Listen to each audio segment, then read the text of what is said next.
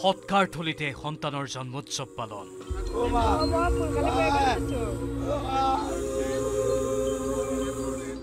উচুপি উচুপি বাৰ্থডেৰ কেক কাটিলে নিহত সন্তানৰ পিতৃয়ে।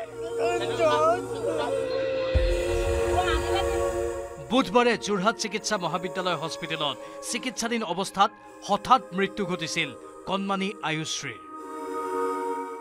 আকস্মিক মৃত্যুক আঁকোৱালি লোৱা কণমানি আয়ুশ্ৰীৰ আজি প্ৰথম জন্মদিন আছিল। সকলোৱে মৰমতে ইছা বুলি মতা আয়ুশ্ৰীৰ জন্মদিন কেনেদৰে উদযাপন কৰিব তাক লৈ বিশেষ পৰিকল্পনা কৰিছিল পৰিয়ালটোৱে। বুধবাৰে দুপৰীয়া হঠাৎ স্বাস্থ্যৰ অৱনতি ঘটি সকলোকে কন্দুৱাই এই পৃথিৱীৰ পৰা বিদায় মাগিলে কণমানি ইছাই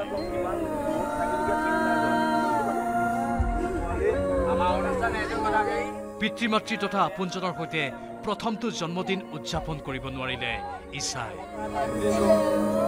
সেই কৃত্য সম্পন্ন কৰাৰ পিছত সেই স্থানতে কণমানিজনীৰ জন্মদিনৰ বাবে অৰ্ডাৰ দিয়া কেক কাটি অশ্ৰুসিক্ত নয়নেৰে ইছাৰ পিতৃ মাতৃ তথা পৰিয়ালে বৃহস্পতিবাৰে উদযাপন কৰিলে জন্মদিন।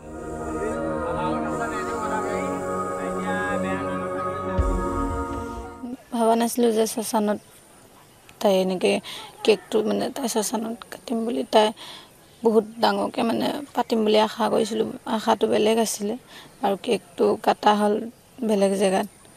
তাই মোক এৰি থৈ যোৱা নাই মানে। তাইক মাৰি পেলালে সিহঁতি নাৰ্ছে। বেজী দি মাৰি পেলালে। আৰু কাগজো চব লুকুৱাই দিলে চব কাগজ পত্ৰ চব লুকুৱাই দিলে তাই গাখীৰ খুৱাই উঠিছোঁ। তাৰপৰা বেজীটো আধা এনেকৈ ইমানটোমান গৈছে। ইমান ডাঙৰ বেজী আছিলে ন? ইমানটো গৈছে ইমানটো যাওঁতে মানে তাই পূৰা ৰঙা হৈ গৈছে। তাইক মই নাৰ্ছক কৈছোঁ যে কি হৈছে ছোৱালীজনী ৰঙা হৈ গৈছে? তাৰপৰা কৈছে একো নহয় অকণমান টাইমৰ কাৰণে হ'ব বেজীটো দি দিয়াৰ পিছত ভাল হৈ যাব। গোটেইটো যেতিয়া দি দিলে ছোৱালী মানে ডিঙি চিঙি পেলাই দিলে। ইছাৰ মৃত্যুক লৈ বুধবাৰে উত্তপ্ত হৈ উঠিছিল জে এম চি এইচৰ চৌহদ।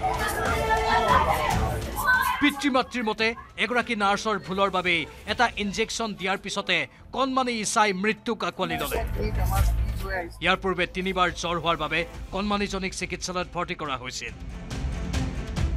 চিকিৎসালয়খনৰ চিকিৎসক আৰু নাৰ্ছৰ গাফিলতিৰ ফলত কণমানি ইছাৰ মৃত্যু হোৱাৰ অভিযোগ তুলি কণমানিজনীৰ পিতৃয়ে থানাত এজাহাৰ দাখিল কৰিছে।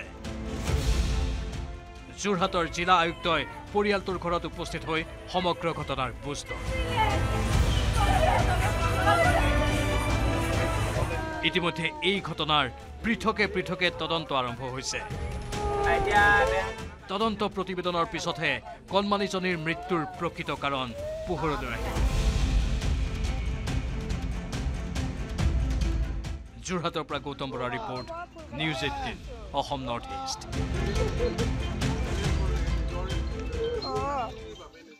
খালে ডক্টৰ।